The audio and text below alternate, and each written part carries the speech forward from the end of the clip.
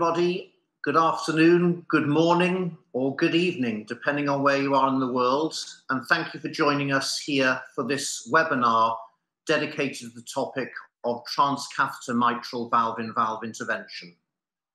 This broadcast is supported by the PCR webinars, webinars program and generously supported by Edwards Lifesciences.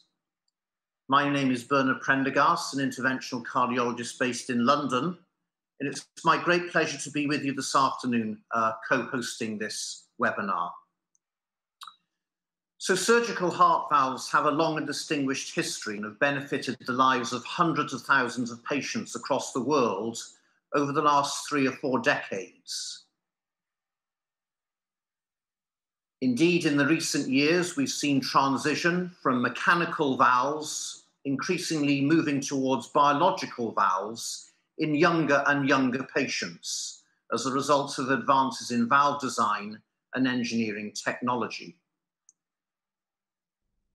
This progression has also been driven by patient preference and an attempt to avoid the need for anticoagulant treatment and the risk of bleeding complications.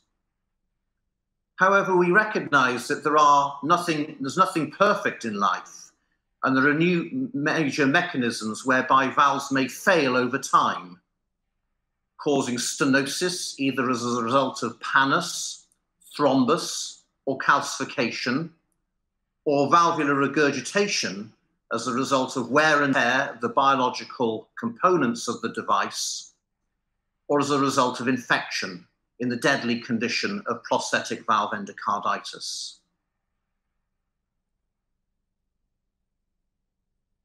At the recent PCR Valves e-course, we saw emerging data from the mitral registry led by Mayra Guerrero and colleagues at the Mayo Clinic, examining the role of the Sapien XT and the Sapien 3 valve treating the constellation of conditions mitral valve in valve, mitral valve in ring, and mitral valve in mitral annular calcification.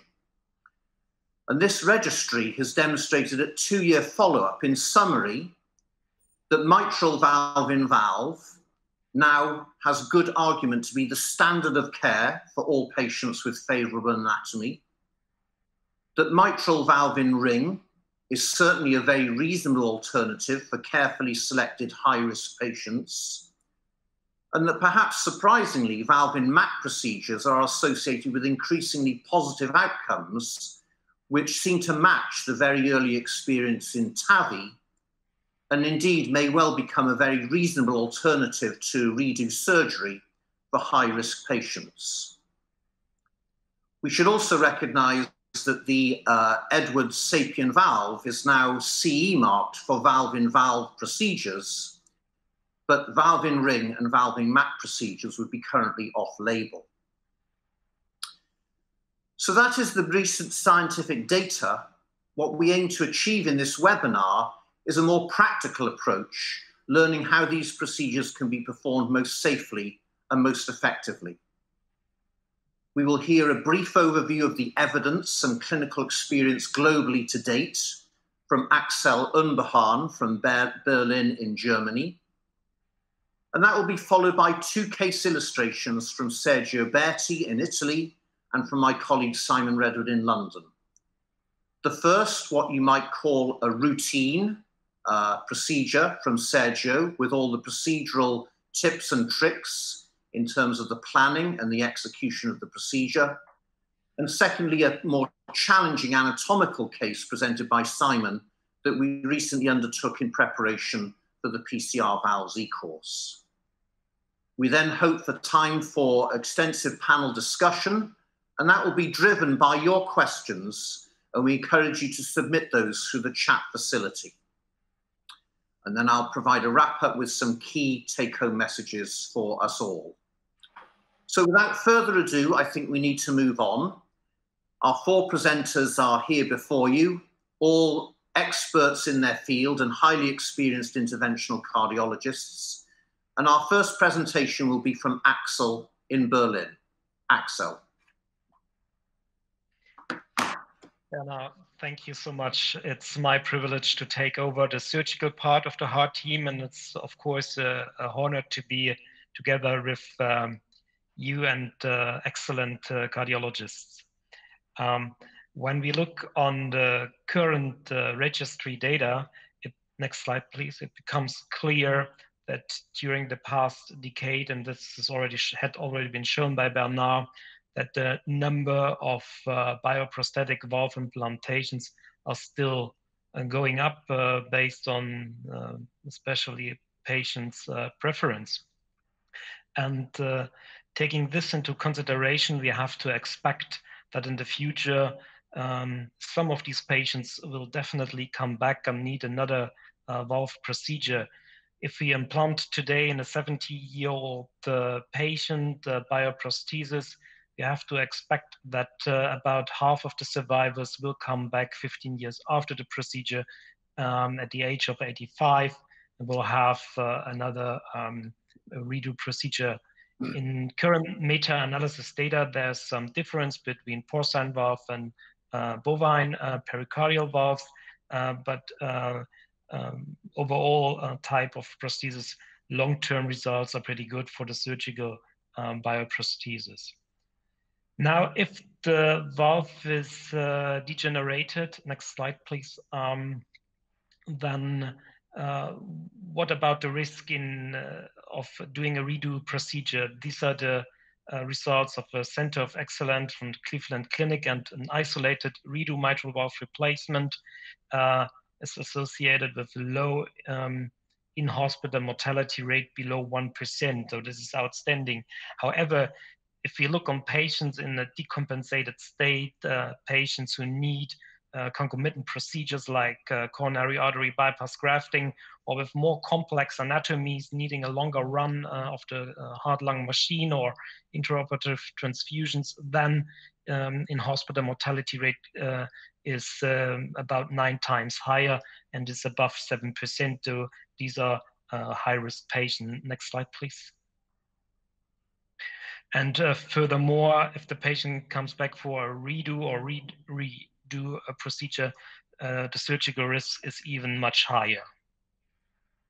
So uh, associated uh, with the initial uh, success of TAVI technology, early the question came up, why not to use TAVI technology also in the mitral valve? This is uh, from the Leipzig group, my colleague Jörg Kempfert, the early stage of his career doing animal studies and the sheep. Um, they used the transatrial uh, um, access to implant uh, sapien prosthesis with promising early results.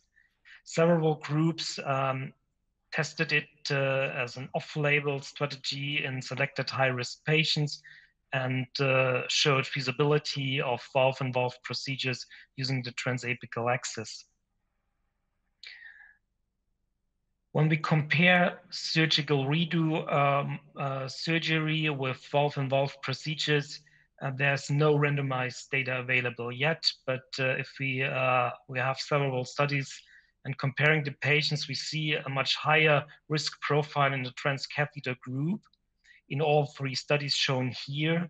However, if we look on one year mortality rate, it's pretty much the same. So although there's a significant higher surgical risk fi- profile in the transcatheter group is pretty much the same uh, regarding survival. And the patients have a, shorter length of stay in the hospital, uh, longer, uh, shorter stay on the ICU, and shorter procedural times. So, uh, and especially for patients with poor ejection fraction, previous bypass surgery, severe pulmonary hypertension, the benefit is even better um, with the transcatheter uh, strategy.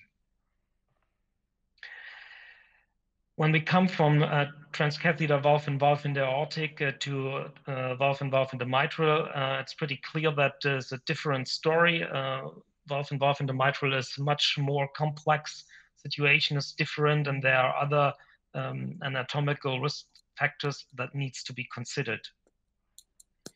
And furthermore, uh, there's a learning curve that has to be expected early experience is different from late experience and uh, with uh, growing um, experience, numbers of stroke, mortality, uh, missing device success are going down, of course. And furthermore, one has to expect that a sophisticated strategy planning is mandatory uh, for these transcatheter procedures. Uh, we have uh, different tools like the 3mensio tool, and we have this fantastic Valve and Valve app um, to know all characteristics of a bioprosthesis. It's pretty uh, um, evident that uh, we need to make sure that there is no uh, obstruction of the left uh, outflow, left ventricular outflow tract after placing the valve, and this can be simulated with uh, different tools. Uh, from registry data, we know that residual neo LVOT of at least 8.7 squared centimeter uh, should be left to avoid a significant uh, uh, tur turbulent flow in the left ventricular outflow tract. There are more fancy tools available, uh, like the Mimics Enlight. This is a tool that uh, generates a true 3D model based on CT data sets. And then um, you can dissect the model, you can implant several um, mock-up and evaluate uh, the environment of the device landing zone. Here it's shown in Hancock uh, 31 uh, degenerated bioprosthesis where we decided to go for Sapien 3 29 millimeter bioprosthesis. One may evaluate the residual neo LVOT that is calculated to be about 1.9 squared centimeters, assuming that the leaflets of the Hancock prosthesis fully covering um, the outer part of the stent of the sapien prosthesis. And what we um, uh, what we uh, have seen in the pre-procedural planning is confirmed in the post-procedural results, so no significant uh, gradient in the LVOT. There are some types of bioprostheses that are not good targets for valve and valve procedures because they are invisible in the fluoro. Labcor Shelhigh or biointegral uh, bioprostheses often used in uh, endocarditis cases. The Labcor 27 um, mm, degenerated bioprosthesis where we decided to go for Sapien 326 and here we used the uh, fusion imaging in the Echo Navigator to identify precisely where we want to place our transcatheter valve. This is mandatory to avoid any uh, displacement. Uh, looking at the lessons we have learned uh, from the device options, there's the Sapien platform, the one and only we have available, um, makes sense for transapical and transeptal um, approaches.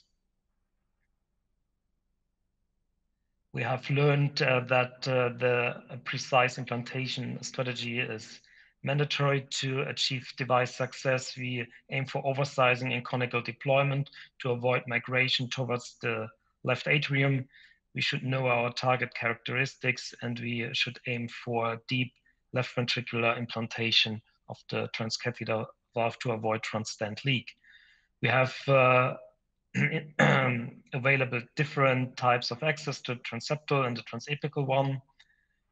Uh, here are the results uh, that have been shown at the TCT last year um, from the uh, TVT registry comparing uh, transeptal and transapical um, approach. And of course, in the less invasive transeptal approach, uh, observed to expected uh, mortality rate is even lower. But we will see about transeptal um, approach uh, much more in the next presentations. Pro and cons of the transapical access. Uh, transapical access is an easy access. It allows a precise positioning that's uh, potentially beneficial in invisible targets. It's independent of previous surgery on the intra-arterial septum, but of course it's still uh, more invasive. It's a mini thoracotomy necessary, intubation is mandatory, and the results, of course, are highly dependent on center experience. Um, I quickly go through a transapical case, straightforward one, 57-year-old uh, patient with congenital uh, heart disease. Patient underwent several times mitral valve replacement and other cardiac procedures. Um, the arithmetic risk profile does not really reflect a true surgical risk.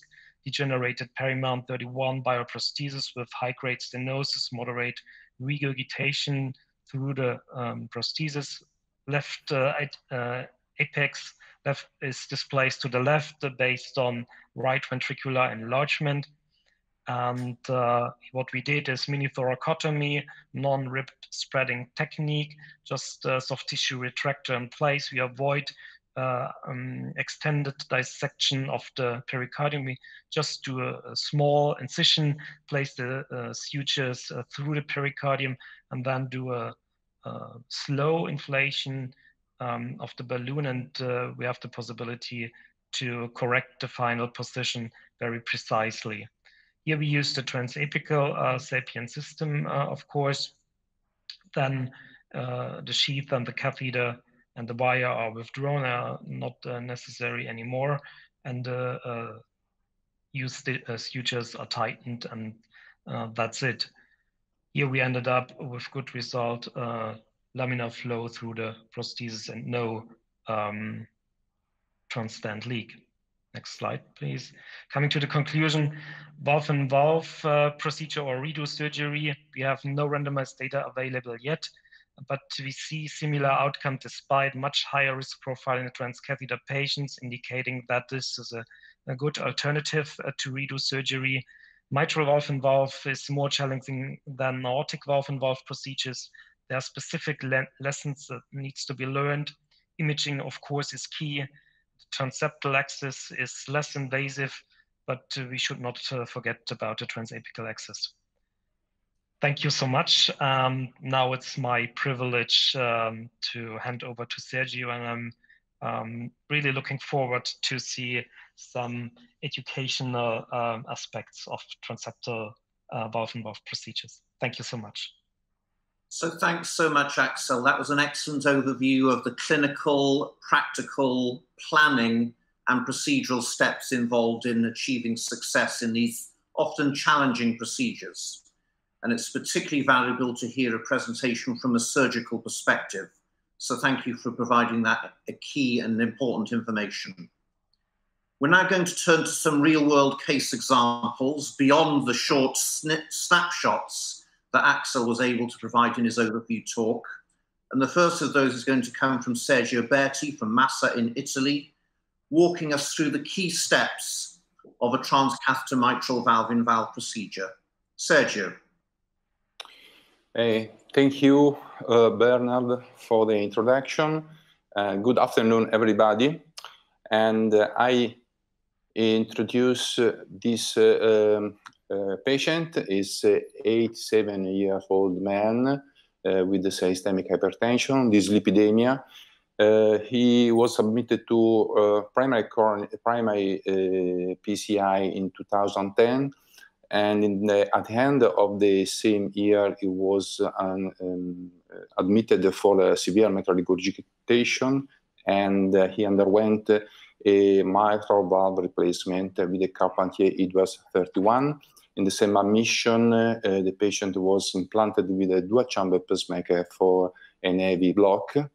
At the end of 2019, uh, during an outpatient evaluation, the patient at the echo showed the mitral bioprosthesis dysfunction, and uh, at in the August of uh, 2020, he was admitted in my department for uh, onset uh, effort breathlessness uh, Uh, and uh, uh for uh, to evaluate the um, what to do about the bioprosthesis and. Uh, more detail uh, on the previous uh, mitral valve replacement. Uh, it was done in uh, right anterior mini thoracotomy, uh, left longitudinal atriotomy. This is a very important step because the septum was not manipulated. In addition, he did the tricuspid annuloplasty. this is the trans-thoracic echocardiography that show the severe uh, mitral regurgitation, severe stenosis with a gradient more than 15, and mild left ventricle dysfunction. The uh, transesophageal echocardiography confirm uh, these findings, and uh, uh the 3D transesophageal echocardiography show the hypermobility of the leaflets, and the same imaging interrogated with a uh, color Doppler show the severe uh, central regurgitation. Uh, this is the list of the medication, and this is the profile of risk of the patient calculated with the STS score for their intervention. The risk of mortality is 0.5 point, 0.5 point. Um, and uh, the uh, patient was uh, evaluated the, by the heart team and on the basis of the risk profile of the patient, on the basis of the profile of frailty of the patient and the age, we decided for a, a transseptal mitral valve valve implantation. Um, when we decide to uh, submit a patient to this procedure, we have we should have in our mind uh, clear some key points.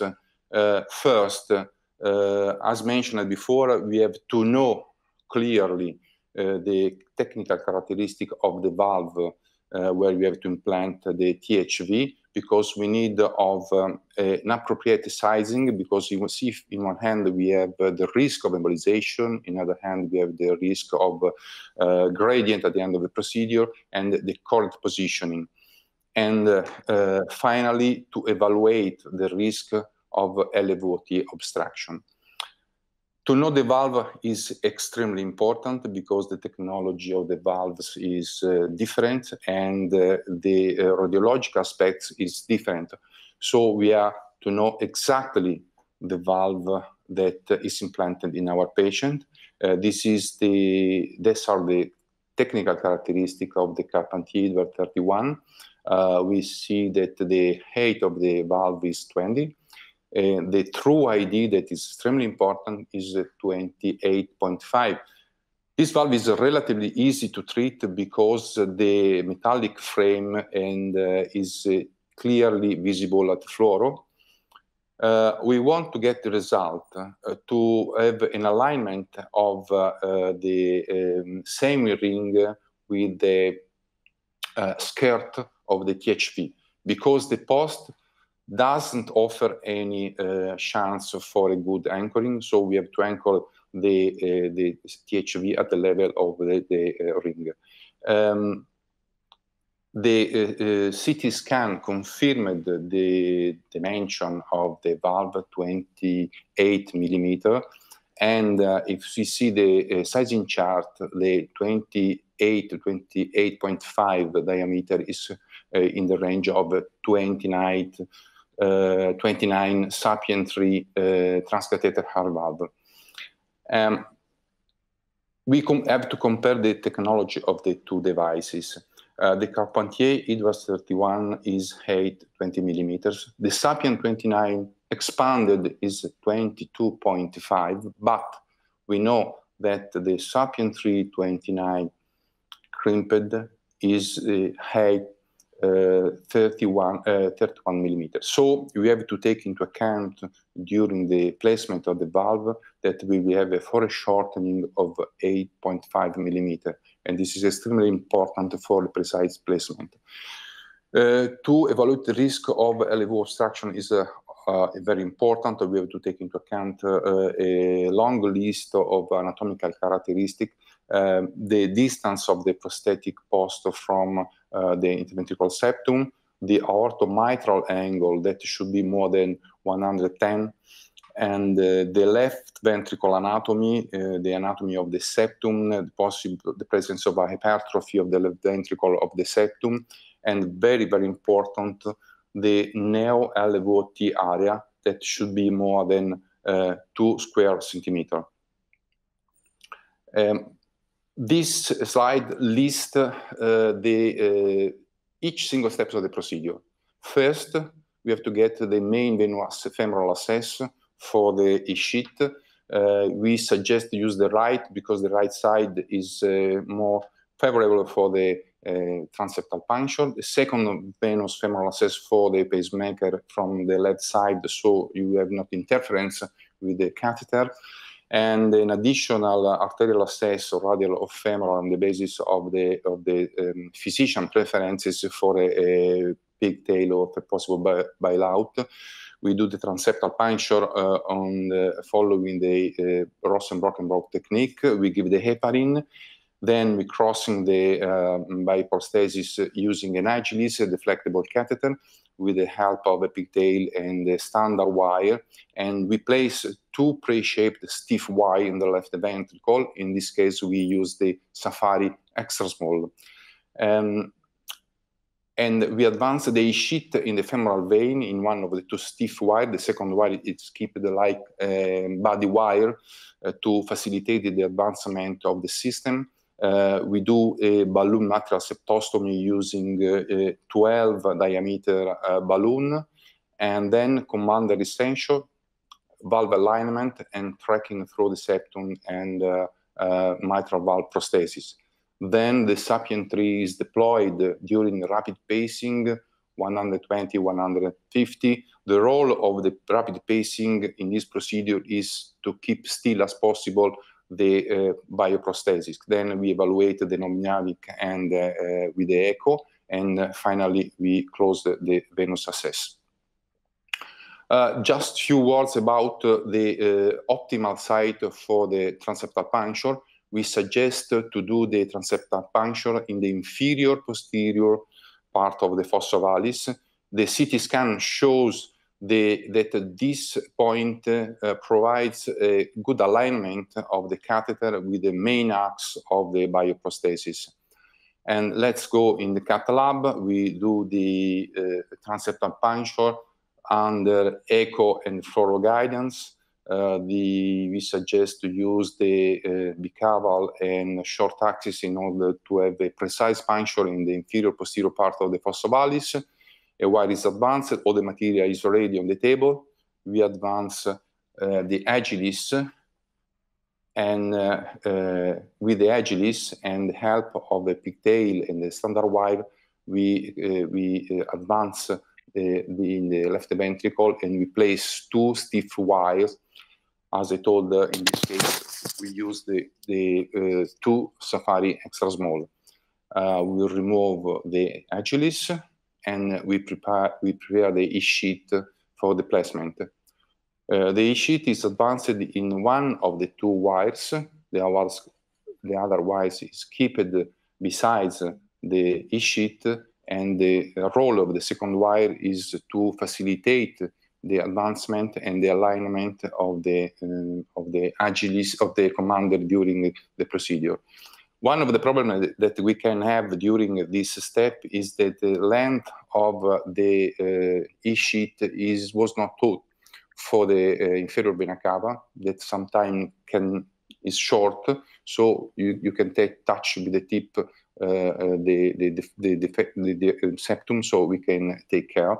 And we advance the 12 uh, diameter balloon and we inflate one time, two times in order to have a good dilatation of the septum. Then, with the balloon not completely inflated, uh, we advance the catheter and the balloon uh, through the septum in the left atrium, uh, through the bioprosthesis, up into the left ventricle. Uh, this maneuver uh, guarantee that uh, to evaluate that the um, um, wire is not trapped in the sottovalvular um, system. At this point, we have to prepare the THV uh, as usually. The main warning is that the sealing skirt flow of the THV must be oriented proximally toward the flex catheter. Consequently, the outflow end is oriented toward the distal tapered tip in respect of the blood flow direction. Uh, our Sapien 3 is ready. We are advancing uh, as usually, uh, utilizing the wire in, inside the um, the um, edge, the sheet. nothing of different from the procedure for the aortic valve. we advance carefully keeping uh, under control the position of the wire. This is a very critical step uh, because you can have a prolapse of the wire in the left atrium you can miss the ventricle. Uh, then we uh, remove uh, the loader and we align the valve as usually. If you have not room because the tip of the um, sheet is too close to the septum, you have to retrieve gently uh, the uh, sheet in order to gain room. Uh, this is the system and it's advancing. As you can see, the tip of the commander is basically is at the level of the septum. The valve is perfectly aligned. We advance all the system and in this phase, we suggest to keep uh, the E of Edwards of the uh, commander toward the table. You have to play with the with the flex and with the catheter in order to find the good, uh, the better alignment with the septum. The second wire helps us in this uh, maneuver. Uh, we advance gently through the septum, uh, the, the, valve, and we advance it up to the um, level of the bioprosthesis. At this point, we have to decide what is the best position of the valve. Uh, this valve, this surgical valve is relatively easy to treat because it's visible.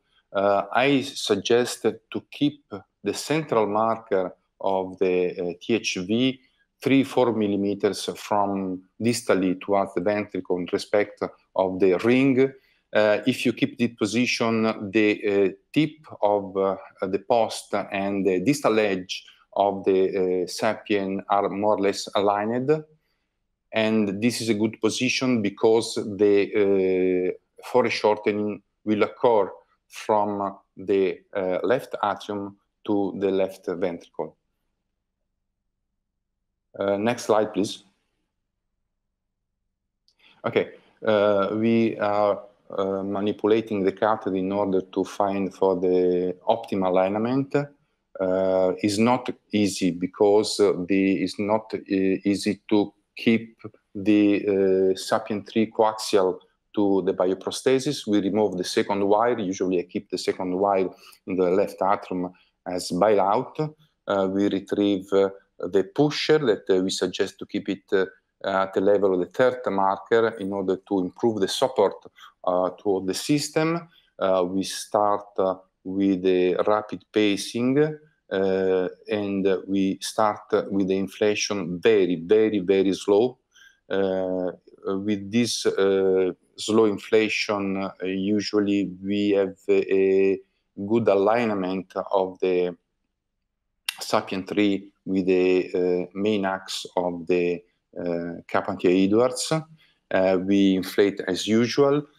we keep the inflation for five seconds. We deflate and we remove the commander from the left ventricle and from the, the Sapien 3. We stop the pacing and while we are uh, retrieving the uh, commander, the echo provides uh, the first preliminary imaging, we can see a good uh, um, uh, mobilization of the leaflet. Uh, there is not um, regurgitation. Uh, we have to take into account that we have a wire inside the valve. If everything is fine, if the hemodynamic is fine, we remove also the second wire and we complete our uh, echo evaluation. The echo uh, plays a um, essential role in all the steps of the procedure.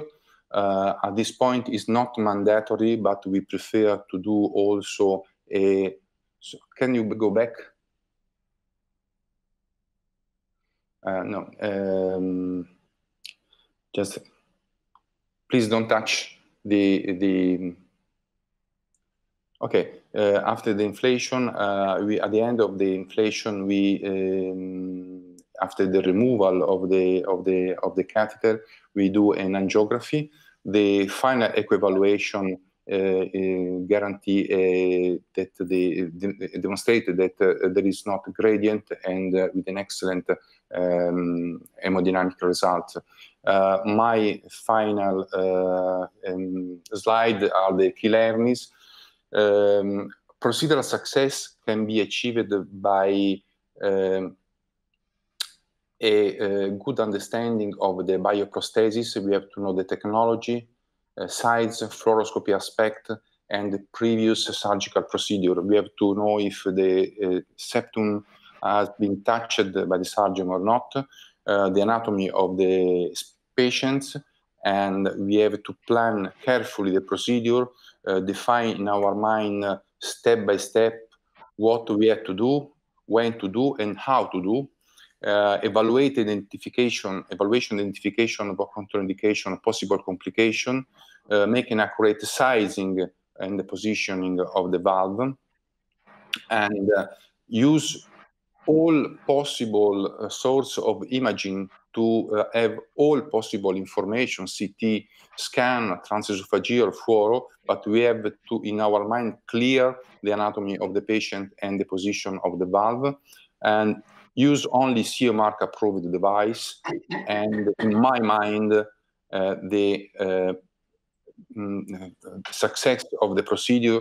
Can I have the last, uh, the mm, exact, thanks. Uh, the success of the mitral transeptal valve in valve procedure depends 50% on the planning and a good screening and 50% uh, from the good conduction of the procedure. Uh, thank you for the attention.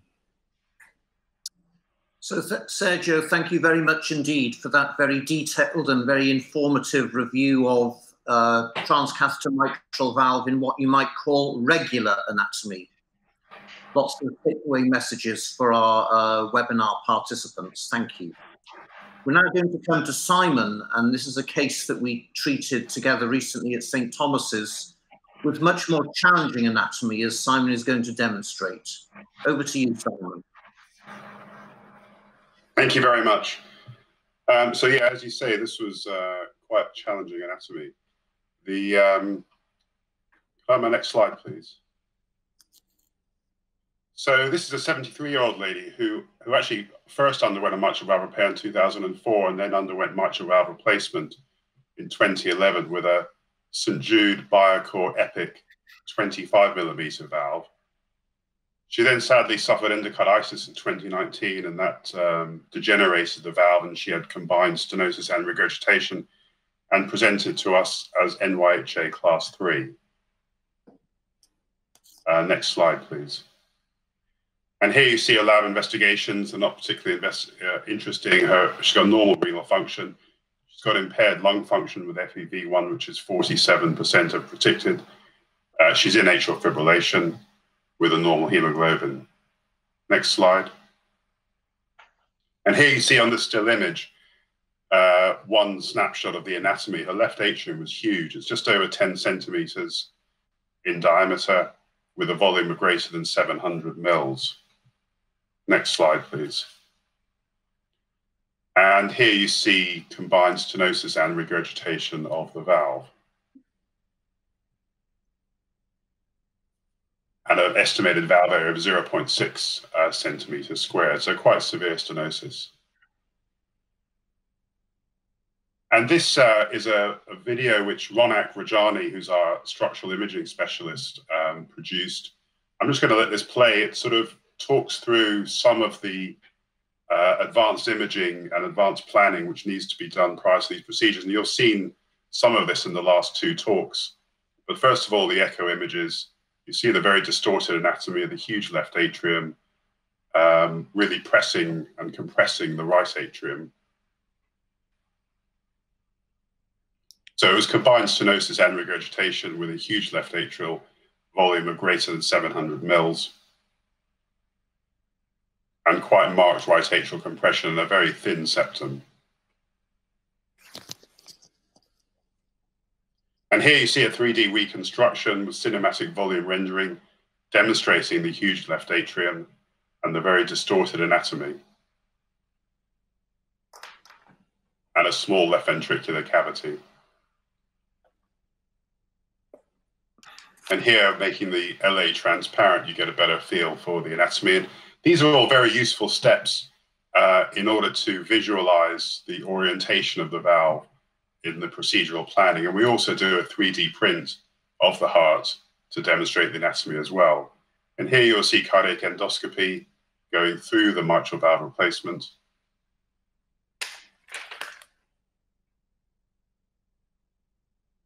Into the left ventricle.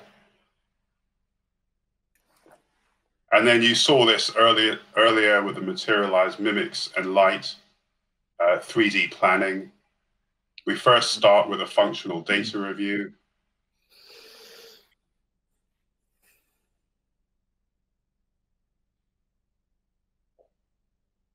And then localize the mitral valve in three planes.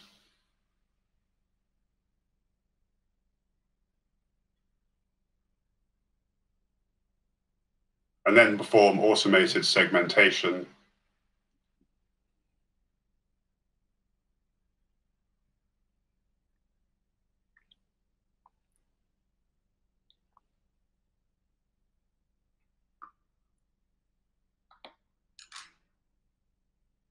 And then we select the type of case, which is a valve in valve in this case. Segment the valve.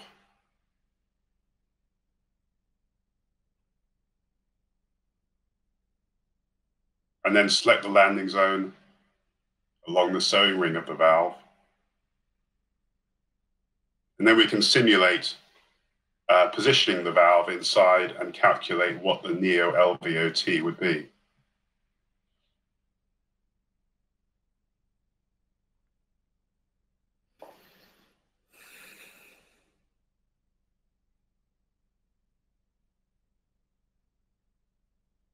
Here you see positioning the valve um, in different positions and calculating the neo LVOT. And these are very useful steps to uh, reduce the risk of left ventricular outflow tract obstruction, as you've heard earlier.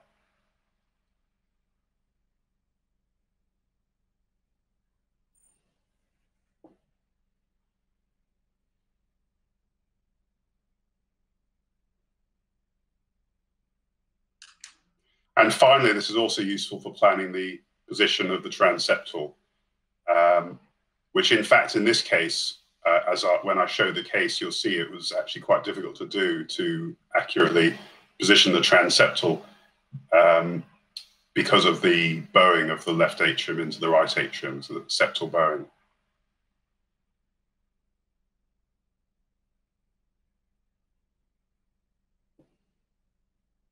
And it gives us a pre predicted deployment view. Finally, we've done finite element modeling using the FEops system. And then um, virtual reality using the GE system, where we can move the heart around in any position and take cuts through in any position to get a better feel for uh, the procedure and the planning of the procedure. So that's a snapshot of the procedural planning that goes behind these cases. And uh, if I could have the next slide, please. So we had a heart team discussion, and uh, we felt that she would be better off being offered a transcatheter mitral valve in valve rather than a redo mitral valve replacement. Next slide. And the strategy was a femoral venous access with ProGlide pre-closure. We were using a TOE guidance for the transeptal access and although the valve and valve app was suggesting a 23 millimeter sapien, we felt that that would leave her with um, uh, pa- patient prosthesis mismatch. So we decided to use a sapien 26 millimeter valve with 10% of the valve being above the fluoroscopic marker. And we would perform rapid pacing using the left ventricular wire. Next slide, please. So in summary, 73 year old lady, degenerative 25 millimeter bioepic Biocor Epic St Jude mitral valve with severe left atrial dilatation and quite abnormal anatomy, um, but a low risk of neo-LVOT obstruction. Next slide. So now I'll just briefly show you the procedure. The first transeptal, in fact, was unintentional. As soon as I brought the catheter up into the high right atrium, it fell across the septum, which was paper thin. And next slide, please. And you'll see this was too high a puncture. And although I could get into the left ventricle with a pigtail using an Agilis, the uh, position was not very stable and not coaxial. And every time I pass a, a safari wire into the left ventricle, it all prolapsed back into the left atrium. Next slide, please. And so I performed a lower, more posterior puncture. And here you see an Agilis across into the left atrium with a wire uh, and a pigtail into the left ventricle. Next slide. And now you see the wires being removed and just the pigtail And keeping the agilis in that position towards the mitral valve aids bringing the, the um, uh, safari wire in. Next slide, please. And here you see the safari wire crossing the left atrium into the left ventricle. And I put a big secondary curve on that safari, which makes the procedure a lot easier to pass your um, SAPIEN commander system into the prosthetic valve. Next slide, please. As you saw earlier, we perform an atrial septostomy, in this case using a 14 millimeter balloon. Next slide. And here you see the uh, valve in position and just about to be deployed. So we do rapid pacing at 120 beats per minute. It's a slow control deployment, as you'll see. When I deploy the valve, I have one hand on the delivery system and the other hand on the wire so I can ma manipulate the two separately. And if the valve looks like it's too deep, push on the wire rather than pulling on the delivery system because that will make it less coaxial. And as we near full deployment, you see I pull back on the delivery system to make it more coaxial as well. It's quite a nice demonstration of, um, of the techniques used to ensure the valve is actually deployed in the right position, uh, despite the fluoroscopic markers being virtually invisible. And the post-procedural gradient was very small. I think it was two, three millimeters of mercury with no regurgitation, and she made an uncomplicated recovery. Thank you very much. So fantastic, Simon. A, a very nice demonstration of, a, of, what we might call advanced uh, skills required for this very challenging and anatomical situation. We've received a number of questions while you've all been presenting, and I've been doing my best to collate them into some kind of order as you've been uh, providing these excellent overview presentations. I think we should come back to you first of all, Axel. We, we've been talking here about balloon expandable valves uh, within surgical bioprostheses. And some of our audience are a bit worried about the risks of balloon expansion, particularly if there is calcification around the annulus. And also a specific question whether or not it would be safe to do this with vegetations, healed vegetations on the mitral valve leaflets. Can you offer some comments from a surgical perspective? Yeah, it's quite interesting. Doing valve in valve uh, in the mitral, the risk of stroke seems to be uh, pretty low. However, if um, I'm facing mobile uh, structures, uh, vegetations on the leaflets, I would think about uh, placing a cerebral protection system. So it's easy to to use it, and uh, maybe at least theoretically, it will prevent stroke in these patients. Mm, I think calcium uh, or MAC uh, outside the ring of the bioprosthesis is no big problem for a valve and valve procedure because we don't touch it. But uh, of course, it's a risk factor for a redo surgery, and it's even more an indication to go for a transcatheter uh, strategy from my point uh, of view. Um, yeah, uh, what we have uh, seen in um, in Simon's case, it's of course a pre-existing uh, patient prosthesis mismatch. Uh, that's a very challenging situation. Um, of course, it's off-label. Have you ever think about doing balloon valve fracture in these um, specific uh, cases? And if you do so or think about such a strategy, of course, it's even more an, uh, an indication for using cerebral protection. But um, my mm, perspective, um, the risk of um, emboli to the brain is not as high as we mm, might be afraid of. Thanks, Axel. Those are very helpful comments, particularly in relation to the risk of embolism. But you, you raised the important question relating to valve fracturing. And Simon, I know this was something that was going through your mind with this slightly undersized prosthesis for this patient. What's your understanding of the risks and the benefits of valve fracture in the mitral position? Well, I guess the first thing to say is I don't understand why they use such a small valve. I mean, the Biocor Epic 25 has a 21 millimeter ID, which really is very small for the mitral position. But I guess we're all learning a lot more about patient prosthesis mismatch, or have done over the last 10 years or so. Um, with regards to valve fracture, in fact, we have never fractured a mitral valve. This is the first patient that we've seen with such a small valve. But there is one report from the Brigham and Women's of, of fracturing this exact valve in the mitral position. Um, but interestingly, they, they had used a 23 millimeter sapien. Patient came back a few months later with a high gradient and they tried to fracture it with a 24 millimeter balloon, failed to, so they went in with a 26 millimeter balloon.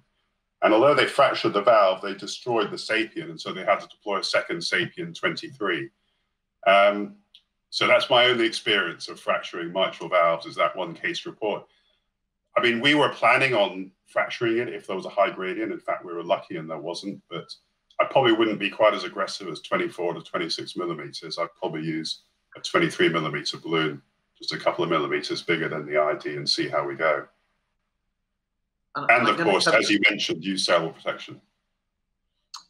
Sorry, Simon. So I'm, I'm, going to come to Sergio in a minute for a few comments about sizing. But while, whilst we're with you, Simon, we tend to use the valve in valve app, and we've got very familiar with that over the years, particularly with aortic valve in valve procedures. But do you think we've got more scope to oversize in the mitral position and aiming for this conical implantation? Is that where we need to go ultimately? I, I, I think so. And as you know, we, we're much more comfortable using a 26 millimeter valve because if we did have to, if there was a high it, we would fracture it. We had the comfort of knowing we were a 26 millimeter valve in there rather than a 23. Um, but I do think we we should routinely oversize and have a conical deployment because it nothing more disastrous than embolizing the valve into the left atrium. So, Sergio, you, you commented specifically in your presentation about the importance of knowing the knowing the valve and also knowing the dimensions of the valve. And I think you emphasise that the internal diameter is the key measurement. C can you re-emphasise that and give us a little bit more information? Uh, yeah, the precise measurement uh, of the internal uh, diameter of the valve is uh, uh, mandatory because uh, if in one hand we have the risk of embolization, in the other hand we have the risk to have a gradient at the end of the procedure. And this is in the, for the mitral valve is extremely, extremely critical.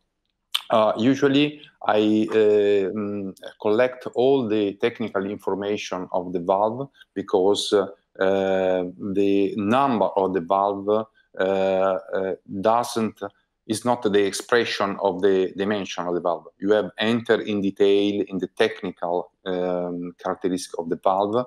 The true ID is the real uh, measure measurement that you need. But I repeat uh, the uh, measurement with the CT scan.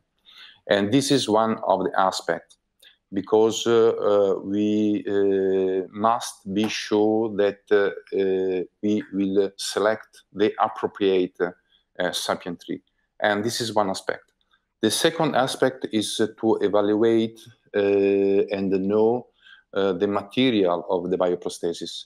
If you have uh, a metallic ring the expansion of the bioprosthesis usually is slow. If uh, there is not a metallic ring, and for example, the maybe Axel cannot um, uh, support me, the, the, the material could be just a little uh, flexible, so absorb a part of the expansion, for example, in Hancock. Uh, so uh, the sizing is the final evaluation of different aspects uh, regarding the technical characteristics of the valve. Uh, the precise measurement is one, but we have to take into account all the technology of the bioprosthesis because this is very, very critical because the, uh, the embolization of the, of the um, sapien in the uh, left atrium is a catastrophic event. So thank you, Sergio, for those very important messages. Uh, Axel, coming back to you, therefore, you, you implant surgical valves, so you have better understanding of them from the beginning than we'd have to achieve through imaging. So can you add any extra information that is helpful uh, for interventional cardiologists in relation to the valve design and the sizing and how we can use imaging uh, to help us beyond the messages from Sergio? Well, um, mm, what we what is important to know is that the label size of um, surgical bioprosthesis is not a true information about internal diameters. Of course, um, perimount um, bioprosthesis that's pretty large internal diameter compared to the sewing ring. But uh, if we look on other valves such as the biointegral or um, um, other um, devices with a huge uh, sewing ring, though the internal diameter is much smaller. So the Valve in Valve app is pretty helpful um, from my perspective. Um, another option is to do a balloon sizing if uh, the internal um, diameter or the characteristics of the bioprosthesis are unclear. Um, we did it in several cases. one needs to make sure that you use a, a high pressure balloon. If you use um, um, a soft balloon, it may rupture and uh, you may have uh, may end up with problems to retrieve the balloon. So this should be taken into consideration. But I think uh, it's fundamental to know the characteristics of the bioprosthesis. Yeah, and perhaps sometimes it's uh, helpful if uh, it is an um, target with uh, where we have not much information. It's sometimes um, good to do an in vitro testing uh, beforehand. Um, yeah. Okay, that's very helpful. We, have got a very detailed question which only you can answer, Axel. So I'm going to stay with you. But we haven't talked much about LVOT obstruction. And of course, imaging is essential to predict the likelihood of that happening. But one of our audience is a bit worried about the papillary muscles and whether the length of the papillary muscles might influence the risk of LVOT obstruction or in most cases, it likely that the papillary muscles have been resected at the time of surgery? Can you help us with that one? Yeah, it's uh, it's worth to have a look on the uh, report of the um, index uh, surgical procedure to make sure which technique had been used, what had been done uh, with the anterior mitral leaflet, um, and and so on. And this is uh, extremely helpful. On the other hand, when we use today for the CT scans, it tells us uh, pretty much the truth, what is uh, still in place and where we have to expect uh, that the um, residual um, cords and papillary muscles uh, will be displaced and all the simulation software tools are extremely helpful. But of course, it's important to to have uh, a look on the surgical report. And uh, I think in a in a good and uh, fair heart team, it makes sense perhaps to see some of mitral valve procedures. And today in minimally invasive mitral valve surgery, where you have a three camera, a 3D camera inside the patient, and it's also extremely helpful to have a, a good understanding um, it's uh, true for the mitral and especially also for the tricuspid valve. Um, yeah, I think this is um, this is helpful.